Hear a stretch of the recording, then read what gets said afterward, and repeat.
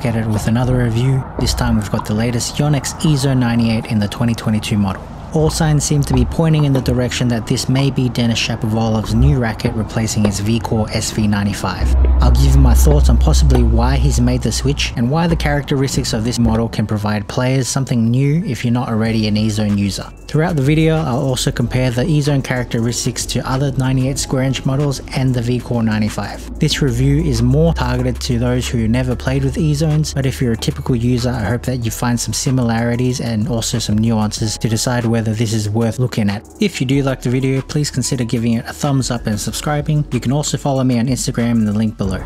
These videos take 30 to 50 hours to make and these small things can help the channel grow, which will allow me in the future to have access to more rackets and other equipment. Just a quick background on my experience with E-Zones. E-Zones have never really suited my game style for whatever reason, and the only racket I've really really liked and kept long term from Yonex was the VCore 95 from 2018. That doesn't mean I think their rackets are bad, but most of them just did not fit the bill and what I wanted from a racket at those times. Anyway, let's dive into the specs. It is a 98 square inch racket with a 16-19 string pattern with 8 mains in the throat. Comes in an unstrung weight of 305 grams, a strung weight of about 323 grams, and a balance point of 6 points headlight or 32.5 centimeters. The swing weight is averaging around 318, which is about the same as 2020's model, and the stiffness rating of 65 is 1 point higher than the 2020 model which was 64. This model's beam width is 23.5mm, 24.5mm and 19.5mm, which each section is slightly thicker than the previous model as well. For string setups and modifications, I tried three different string setups all at the same tension at 48 pounds, but if you want to see the slight differences in the modifications that I tested with, I only added bits and pieces of weight here and there. You can check out the overlay for the full information.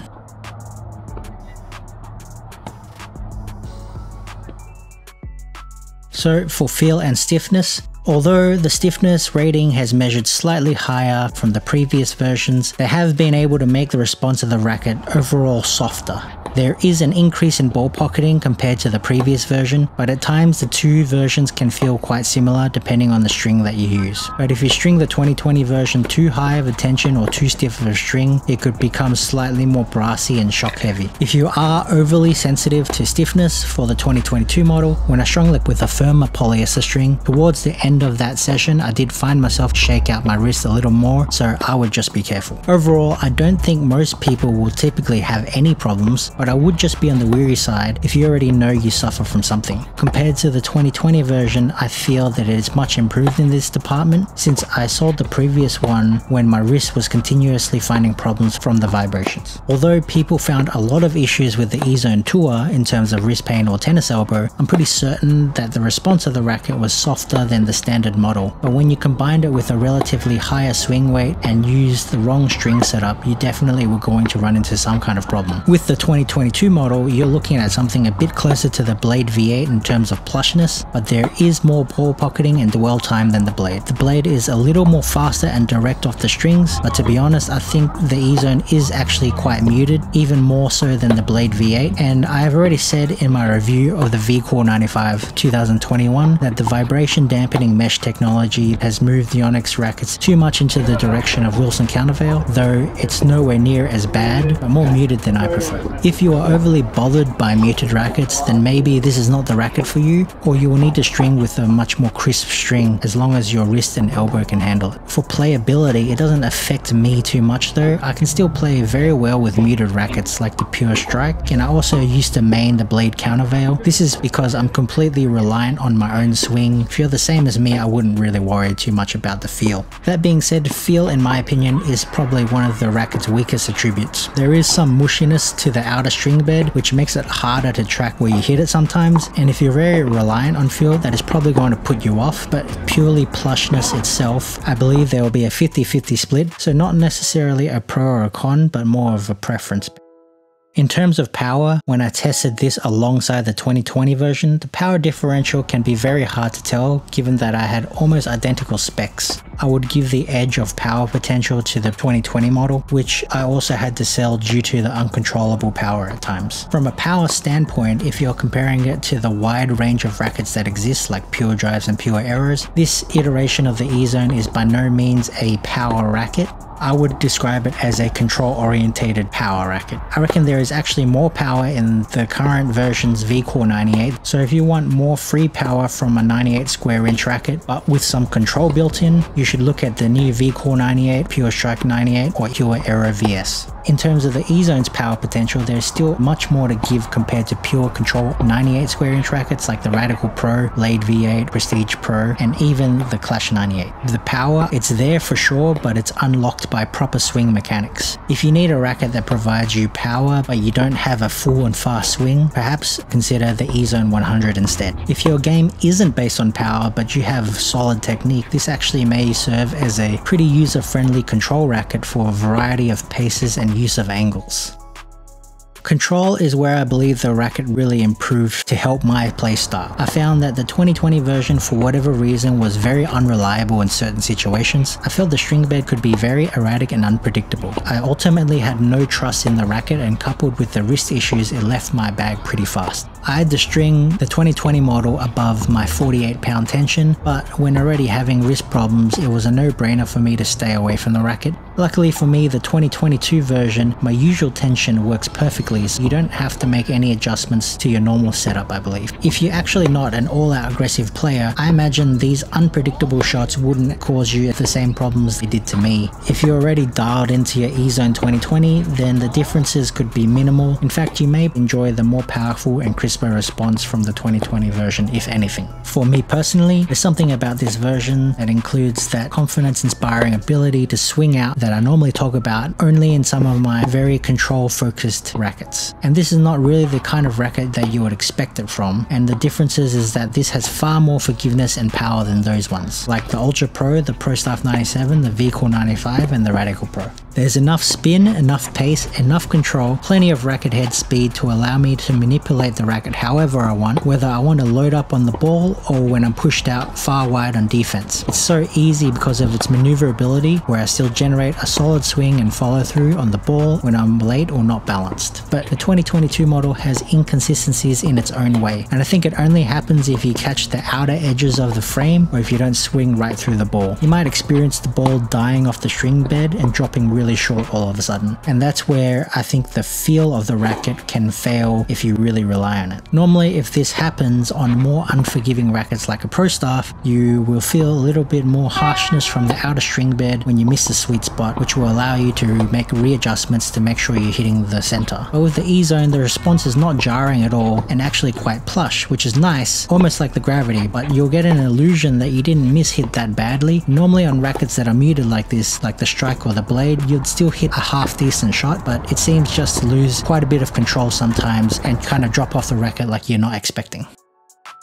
In the maneuverability department, if you're already accustomed to the E-Zone, especially the previous version, you probably already have a good grasp of how fast this racket can move in a lightweight package. The overall experience is impressive. You kind of get the Blade V8 swing speed in stock form, but a lot more power, stability, and spin. For me, the Blade V8 was at a huge disadvantage against heavy hitters without extra weight. The only other racket that was this fast, this light, and this stable at a low swing weight has to be the VCore 95. The ease of use of this combined with the newfound control makes this an extremely good rhythm racket. Once you find your swing, it's so easy to replicate over and over and you'll find really great consistency because it allows you to make last minute mid-swing adjustments since you have so much more time and control of how the racket moves in your hand. The racket moves so freely that it's all about how you want to play with it instead of how other rackets require you to adapt to its style. The good thing about this E-Zone is that it's versatile for different stroke styles. Whether you have a modern forehand and try to produce more spin or if you use an eastern grip and you want to flatten out strokes with a big loopy swing coming behind the ball or giving it a bit of a slap.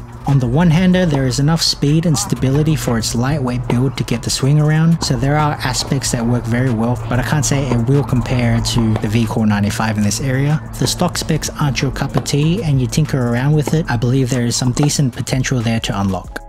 Spin potential is nothing special since the racket pockets the ball quite a lot and the pocketing doesn't provide any extra assistance with biting into the ball and doesn't grab the strings for long enough but there is still adequate spin potential for players who want to generate some shape to create a good safety margin over the net, allowing you to maintain very good consistency as I mentioned, because of the combination of power and spin doesn't become an overkill. There is a balance between those aspects coupled with the control that helps you not to overhit when you are maintaining a fast swing, and when you really load up and rip the ball, you will be rewarded with exactly what you put into it. So if you are someone who possesses the ability to snap aggressively underneath the ball, only in the case that you're really trying to leverage your topspin to penetrate the court with extremely heavy balls, then you'll be better off going with the VCore 98 for that kind of playstyle. The E-Zone's topspin is used more for rhythm and consistency than spin penetration.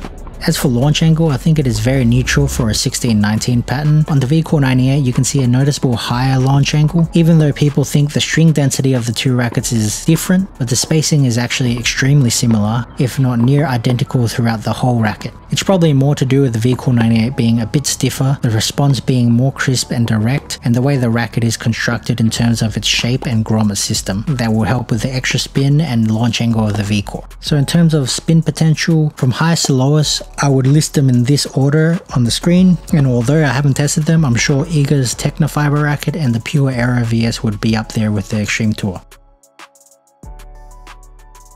Slice is purely amazing for my swing. The maneuverability and stability gives me access to rip right through the ball no matter what position I'm in, fully balanced or run out wide almost every single slice on the run no matter my positioning I can dig it deep and low. Both offensive and defensive slice on this racket is so easy to use. I've never been able to slice this effectively with a 1619 pattern and a racket this light of a package. Just from the get-go it was the easiest shot I was able to hit effectively apart from the serve.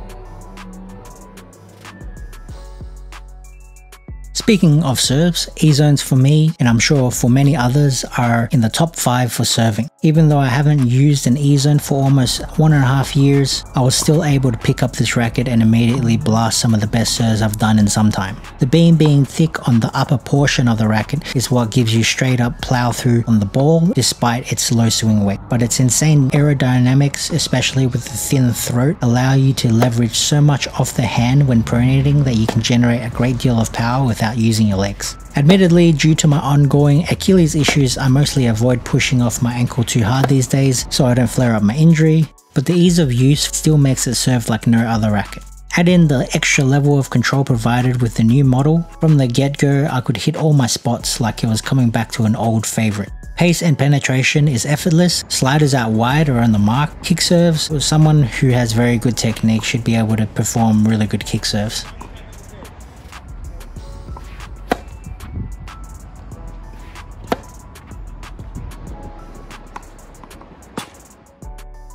For forgiveness, for 98s that I've become accustomed to, the E-Zone's forgiveness is in the relative ballpark range of what you would expect from most other popular 98 square inch rackets. Most are fairly easy to use if you are a high intermediate to advanced, with the exceptions being the extreme control rackets like the Radical Pro or the Prestige Pro, which are much less forgiving. So not much for me to touch on in this category, but I would still look out in regards to hitting outside the sweet spot and how it dies off the string bed.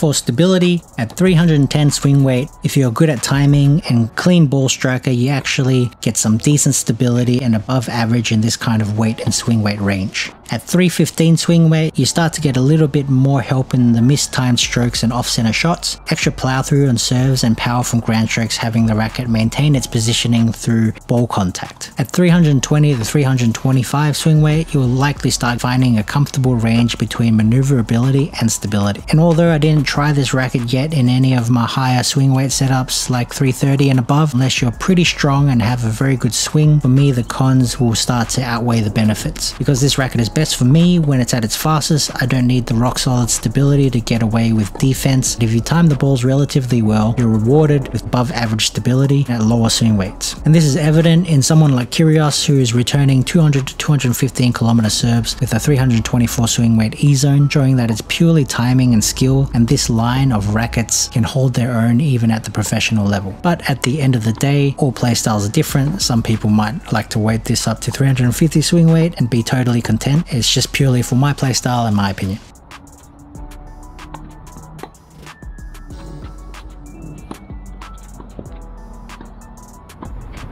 I think feel is relatively nice for volleys, but this is the only area where too low of a swing weight has a pretty noticeable effect on the stability of the net. I think here, if you're someone who loves coming to the net, you'll need to definitely add some kind of extra weight to help. But I like it due to its maneuverability, easy to get around, and it's really great for lunge and reflex volleys.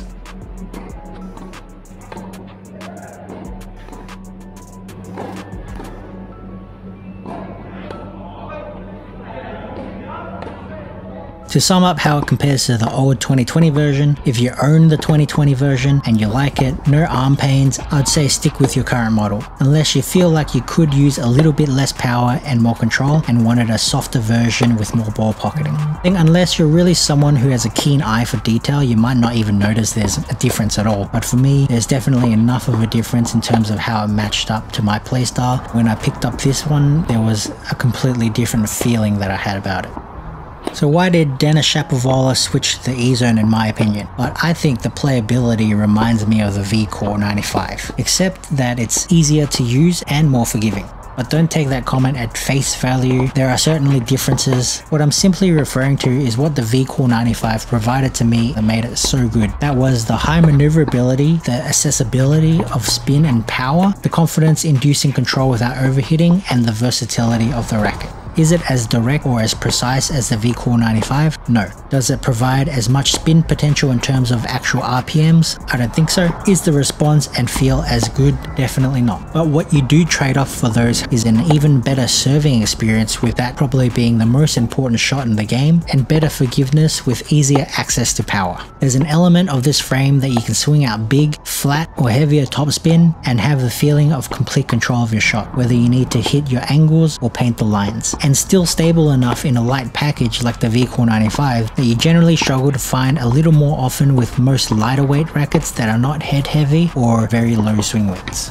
So when I say it's like the V-Core 95, it's somewhat of an easier version in terms of the playstyle. For me, the difference is I would never take the V-Core 95 into my most difficult tournament matches. Personally, I don't think there's any chance that I would ever be able to win against those kinds of players with the V-Core 95. I would need to be very switched on to be able to beat those players. The E-Zone on the other hand is something that I could literally pick up and play at near my highest level right off the bat and that is without me being dialed into the frame and not traditionally an E-Zone user. If you're a huge advocate of the V-Core 95 then maybe I would doubt that you might like this racket due to the inadequate feel that it provides. But if the V-Core 95 is too demanding for you to play your best tennis with, maybe it's worth trying this out.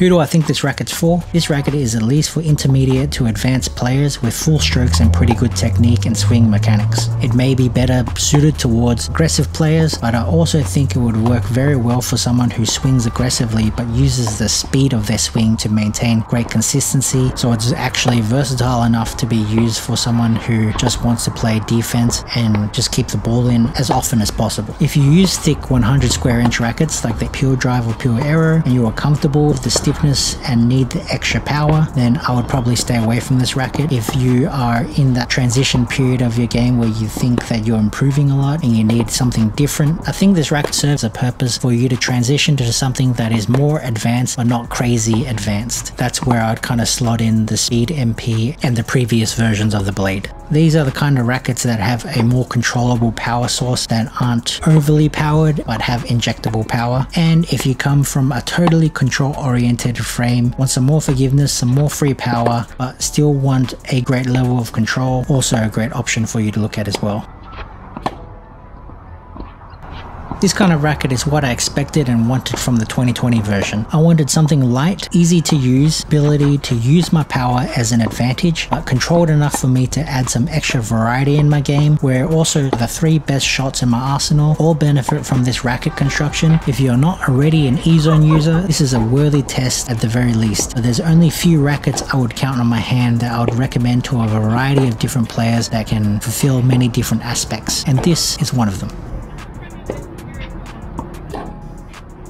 That concludes my review of the E-Zone 98 2022. If you want to see the overall rating that I give the racket, stick till the very end. My next upcoming video will probably be the comparison between the V-Core 98, the E-Zone 98 and the V-Core Pro 315. Thanks again for watching and I'll see you guys next time.